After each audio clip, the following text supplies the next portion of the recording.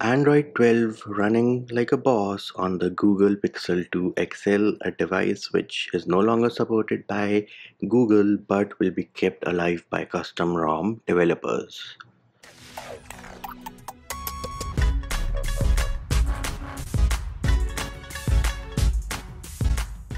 Hey peeps, what's up Munchy here, back with another video and in this video we're going to have our first look at Android 12 on the Google Pixel 2 XL. Now do note, Google is no longer officially updating the Pixel 2 XL but this here is a custom ROM called Arrow OS based on Android 12 running like a boss on the Pixel 2 XL. So this is how the ROM comes out of the box. Let us have a look at our quick settings panel here are the different options. And yes they have added independent tiles for mobile data and for your Wi-Fi as well. If you go ahead and edit your tiles you do have a bunch of different options as well which do include screenshot caffeine extra dim and your dark theme tiles as well then if you want to have a look at the volume panel this is how the volume panel is going to look like. And we can also have a look at the power buttons or power options as well. So this is your power menu. Now do note this is arrow os so unfortunately it does not come with pixel launcher out of the box. You have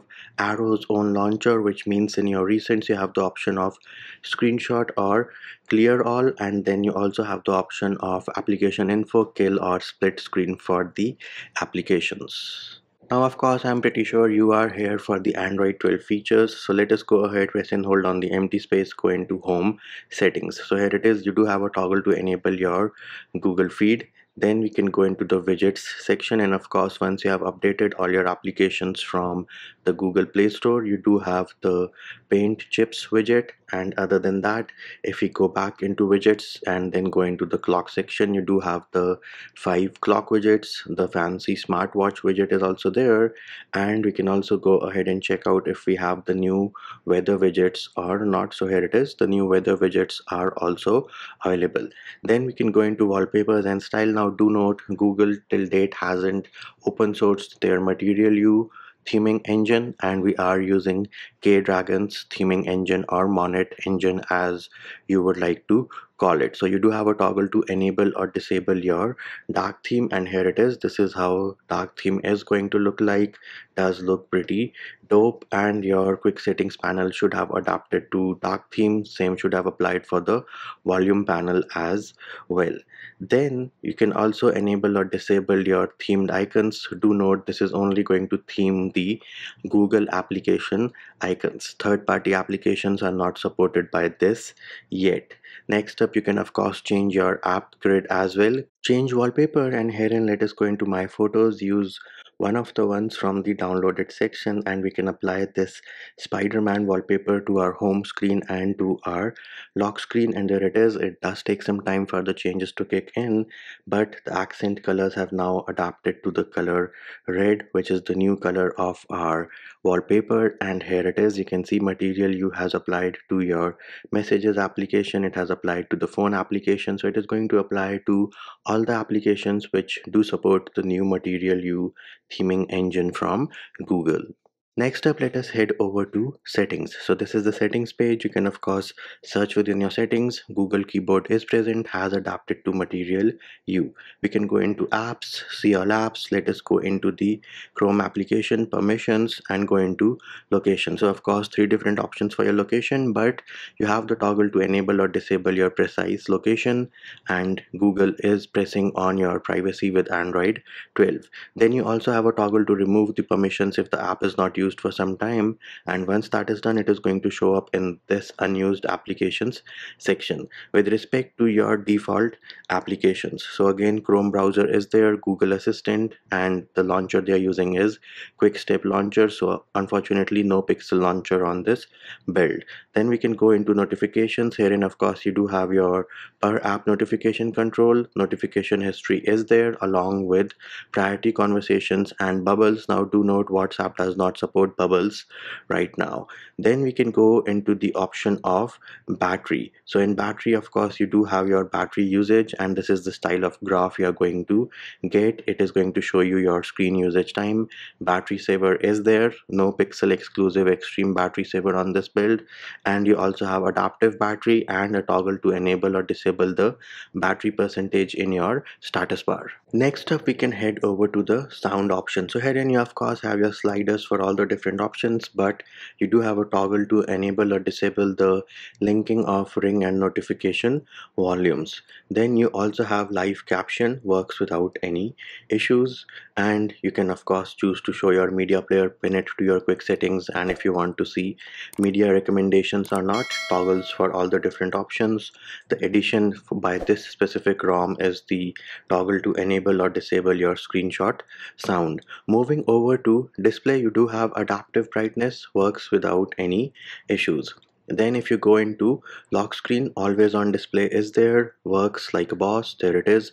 Super cool super dope animations of android 12 working without any issues. Double tap to wake is there there it is. Double tap to wake working without any issues. They also have double tap to sleep on the status bar and lift to, to check i think is broken on this specific build. Then of course you can configure your screen timeout dark theme toggle is there. You can configure it based on a custom time or from sunset to sunrise as well. Then you can change the font size display size. Similarly you have night light can be scheduled from custom time or from sunset to sunrise. And of course for night light you can change the intensity using the slider. Colors you can choose between natural boosted and adaptive working without any issues. You do have your RGB sliders as well and as you can see on your screen right now all these options do work. Then you have a toggle for auto rotate screen as well. Next up we can jump over to security. So in security the ROM is encrypted out of the box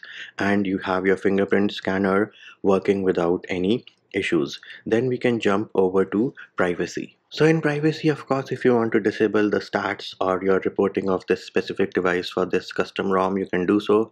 Then you also have privacy dashboard. So herein you can see whatever applications have access to your location, camera, microphone. Here it is. Microphone was used by Google and Gboard in the past. Camera was used by Camera Go. Then you also have master toggles to enable or disable system-wide camera access and microphone access and a toggle to show your clipboard access as well. So let us have a quick demo of this two toggles of camera and microphone. Let us go into video mode and try to record a video. Now once you start recording the video you will notice you have a notification telling you that camera and microphone are being used by camera.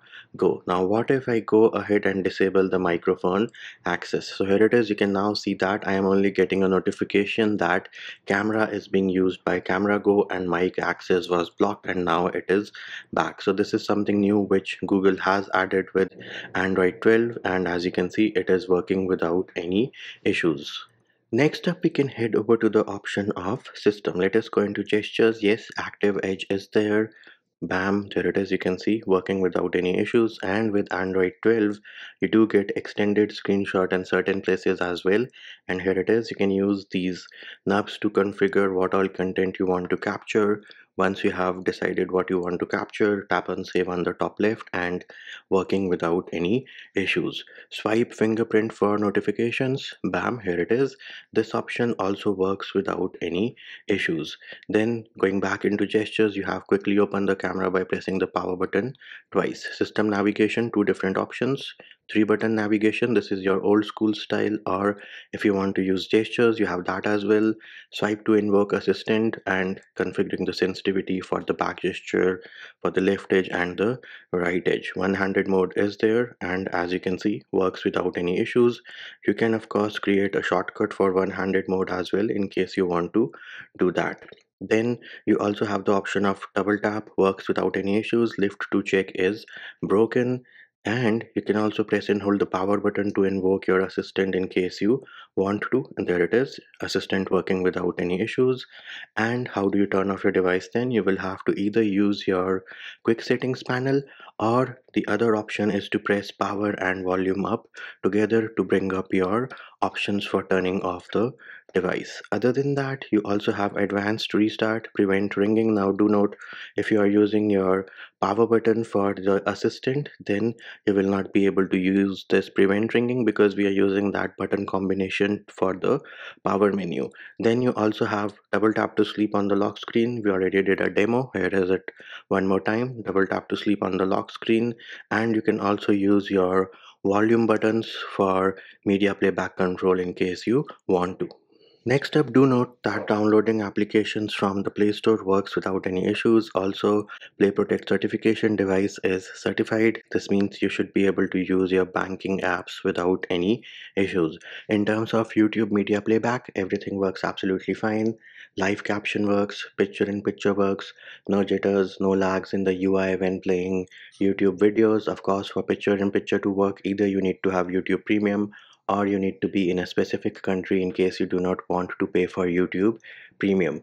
With respect to the Google Assistant, the Assistant keyword works with the screen turned on. With the screen turned off, it does not work. And super surprisingly, if you invoke the Assistant, ask for interpreter mode, interpreter mode is going to kick in and it works absolutely fine now do note interpreter mode is supposed to be a pixel 6 exclusive feature but Fortunately for us, it is working on this specific Android 12 ROM for the Pixel 2 XL as well.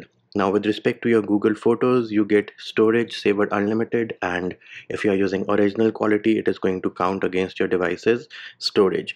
If you go ahead and try to edit any picture, wait for this loading bar to finish, go into tools. Here it is. You can see I have the option of portrait light working without any issues. Now do note portrait light is going to work only on human objects. It is not going to work on my chicken friend over here. Next thing we can check for is the app opening animations to see if there is any lag or any jitter in the UI. Now to be very honest, there is this little lag or jitter in the UI when you open the different menus but do note this is a very initial build of Android 12 for the Pixel 2 XL so I am pretty sure those bugs or those issues are going to be ironed out. The recents are pretty smooth as well. We can also see the scrolling for Google feed and here it is you can see it is pretty smooth once the content has loaded. We can also try to switch between a few applications to see if you have any issues in that regard. So there it is. You can see no issues with respect to switching between the applications. So what is the final take on android 12 on the pixel 2 xl running via your custom ROM called Arrow OS. Well, there are a few niggles here and there, like the animations do get a bit jittery and the menu opening is also a bit jittery at times. But again, as I mentioned earlier, pretty early days for Android 12 on the Pixel 2 XL and things are only going to get better from here. And it is of course pretty dope to see a device which is no longer being updated by Google kept alive by the awesome custom ROM developers out there. And there it is peeps, that was our first look at Android 12 running on the Pixel 2 XL and that will do it for this video. Hope my video helped you. Likes, shares and subscribes are appreciated. Feedback and comment more than welcome. See you when I see you.